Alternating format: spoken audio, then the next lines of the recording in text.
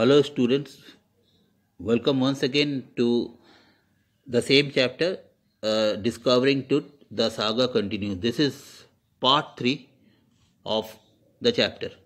Now, here we got to know in part 2 that uh, Carter had to chisel away the mummy, mummy of King Tut, in order to separate the body, body parts. And uh, in the process, the mummy was damaged a little bit. So, in his uh, defense, uh, he's saying Carter is saying that Carter is giving logic or reason why he had to chisel the body, saying that if he hadn't cut the mummy free, if he hadn't cut the mummy free, then he's saying that some thieves, priests, thieves most certainly would have circumvented the guards and ripped it apart to remove the gold. He's saying that if he hadn't uh, chiseled the um, mummy, some thieves would certainly, okay, most certainly would have circumvented the guard. Circumvented here means the thieves would have easily bypassed would easily bypass the guards with artful nets and rip the mummy apart to remove the gold. So, uh, circumvented means bypassed the guards with artfulness and ripped it apart. Ripped means separated it apart to remove the gold. Separated the body to remove the gold. The thief should certainly have done. That's why he, he himself had to chisel away the body. Now, in Tut's time, the royals were fabulously wealthy. So, when uh, Tut found the body, it was in 1922. Uh, sorry, when uh, um, King Tut reigned in Egypt. Okay, it was 3300 years ago. That time, the royals were fabulously wealthy, fabulously, extraordinarily wealthy, and they thought or hoped they could take their riches with them. So they thought that they could also take their riches with them after their death. So for his journey to the great beyond, so when King Tut died, for his journey to the great beyond after his death, the journey to heaven or maybe anywhere, King Tut was lavished. Lavish means put excessively glittering goods along with his dead body. He was uh, glittering goods were put. Precious collars, collars you know, chain worn around neck, inlaid necklaces, decorative necklaces, bracelets, rings, amulets, amulets ornament uh, bearing magic uh, magical symbol what you uh, own on the around the bicep in Hindi, it is called tabij.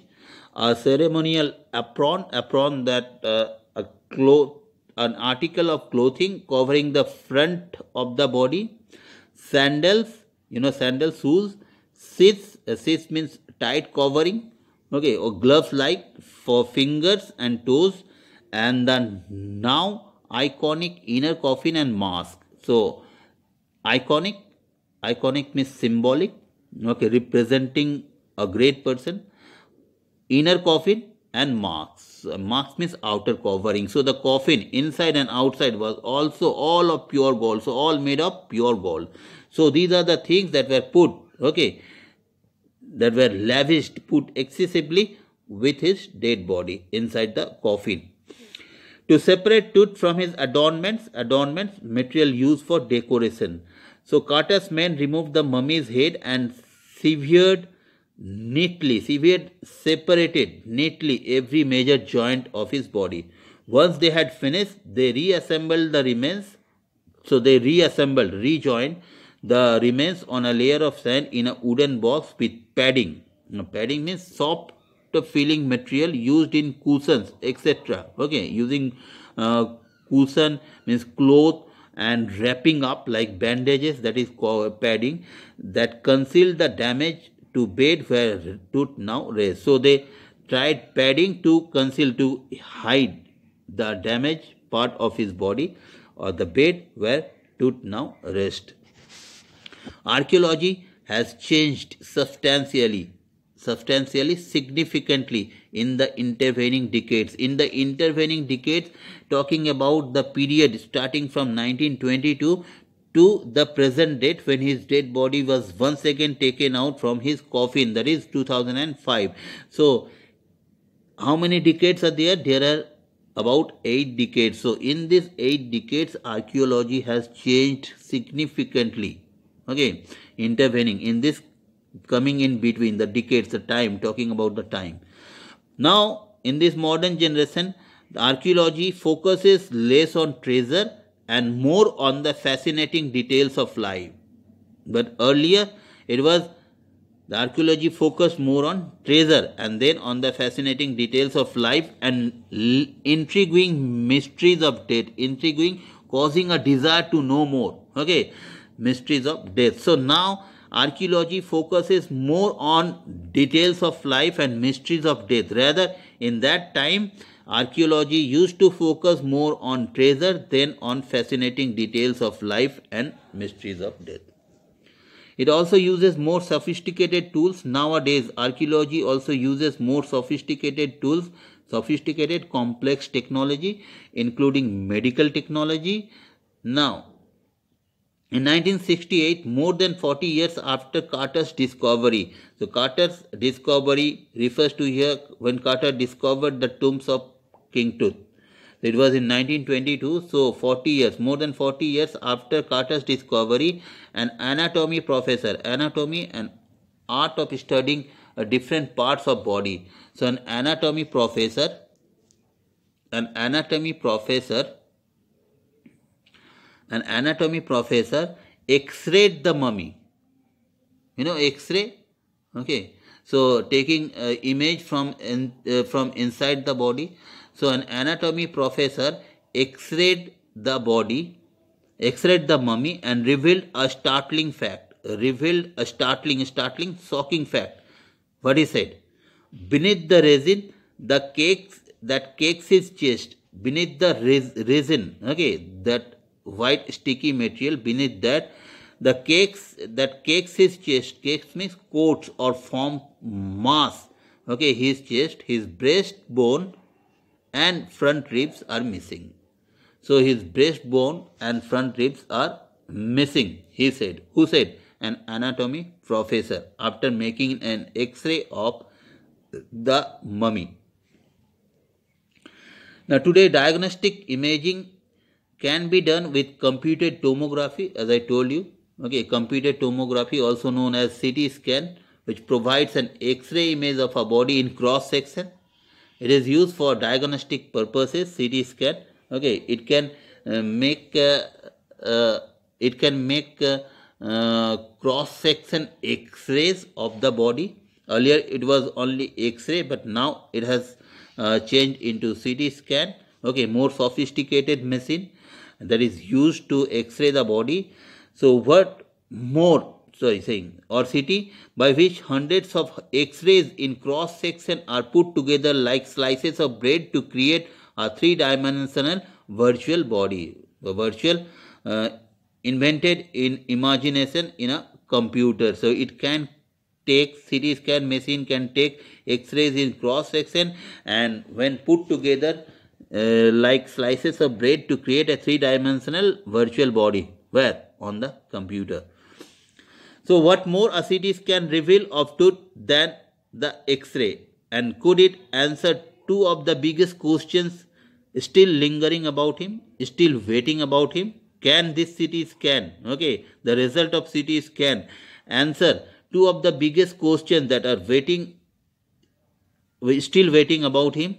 What are these two questions? How did he die? And how old was he at the time of his death?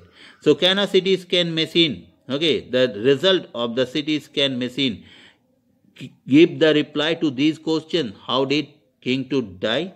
And how was old he? How old was he at the time of his death? So can this give these two answers? King tut's, tut's demise or death was a big event. Even by royal standards so even by royal standards it was a big event when he died. Event that funerary ceremony. Okay, funeral ceremony was a big event. He was the last of his family's line. So he was the last ruler of his family's line, last descendant, and his funeral was the death rattle of a dynasty. And his funeral was the death rattle. Now, death rattle, death rattle here refers to here the indication of the end of the dynasty. So his, his death was the end indication of the end of his dynasty. But the particulars of his passing away and its aftermath are unclear, but the details of his passing away, how he died, okay, and its aftermath, after means that which happens after, are unclear, are still unclear.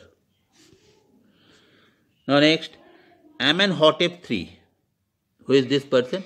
Tut's father or grandfather. So maybe his father or grandfather is not clear.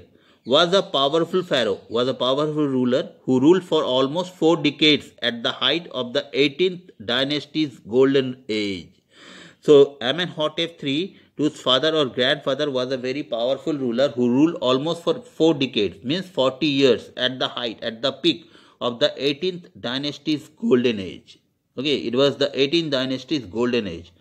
His son Amenhotep, Amenhotep IV succeeded him, means sat on the throne, become ruler, and initiated one of the strangest periods in the history. Initiated, started one of the strangest periods in the history of ancient Egypt. Now, this Amenhotep IV, okay, he was a different kind of ruler and he started one of the strangest periods in the history of ancient Egypt.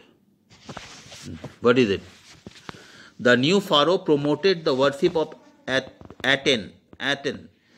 It is Aten. Aten is the sun disk. Okay, the disk, revolving disk around the head of the sun. So the new pharaoh promoted the worship of the Aten, the sun disk changed his name from Akhenaten. This uh, changed his name from Akhenaten or servant of the Aten and removed the religious capital from the old city of Thebes to the new city of Akhetaten, known now as Amarna. Now, what this king did? Okay, Amenhotep IV. When he became the king, he did the strangest thing in the in the history of the ancient Egypt. The new king promoted the worship of Athens. Who is Athens? The sun disk. He promoted the worship of Athens, the sun disk. Changed his name to Akhe Akhenaten. Okay, he changed his name to Akhenaten from Amenhotep IV. Uh, and what does Akhenaten means? It means servant of the Athens okay, the sun god, and moved the religious capital from the old city of Thebes to the new city of Akhetaten.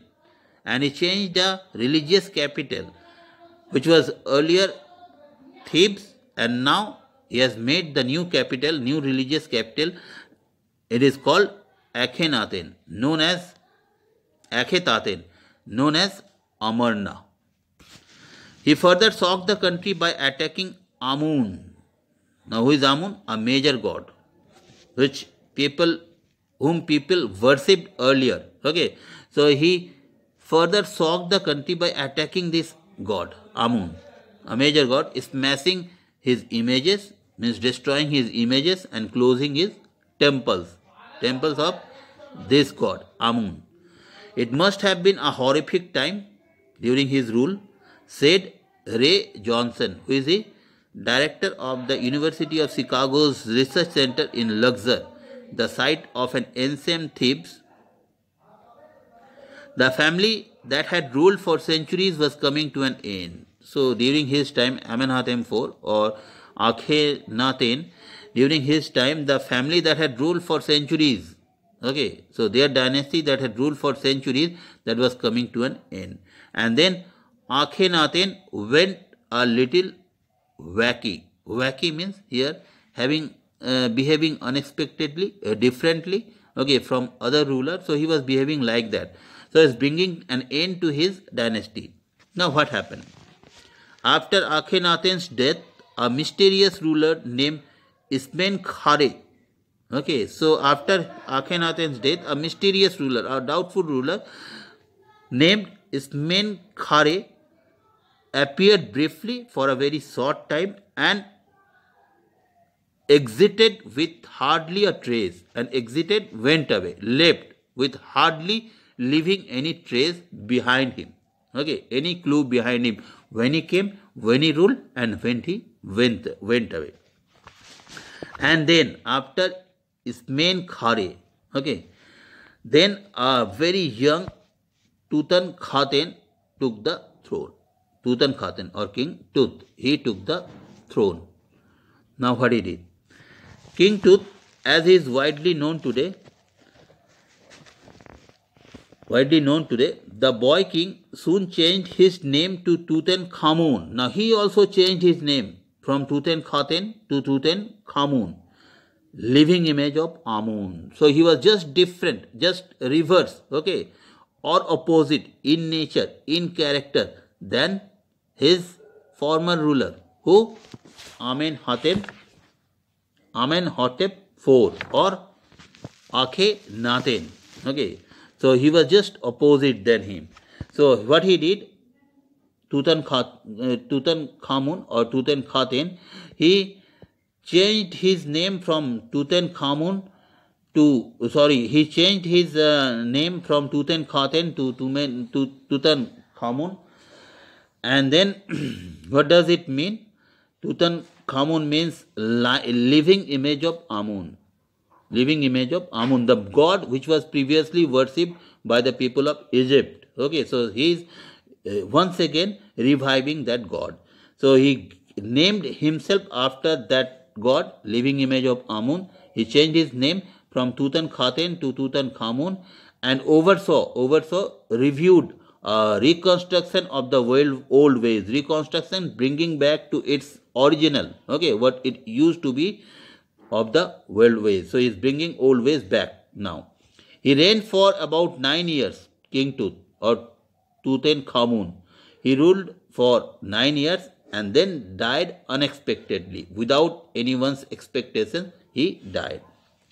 Now, regardless of his fame and speculations about his death, so whatever was there, there was gossips about his fame, about his reputation and speculations. Okay, means uh, drawing out or uh, con making conclusion without uh, uh without uh, uh, evidences, conclusive evidences so about his fame. What people discussed.